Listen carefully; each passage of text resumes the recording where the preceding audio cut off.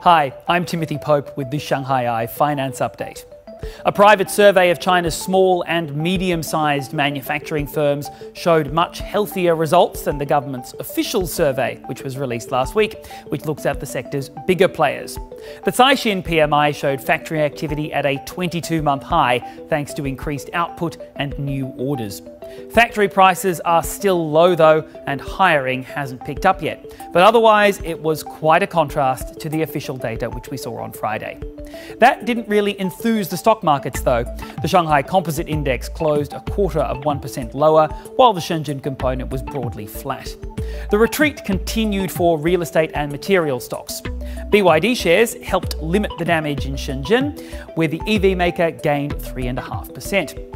The company sold significantly more vehicles in May 2024 than it did last year, almost 92,000 more. And for the year so far, BYD says its sales are up almost 27%. That was good for the company's Hong Kong stocks as well.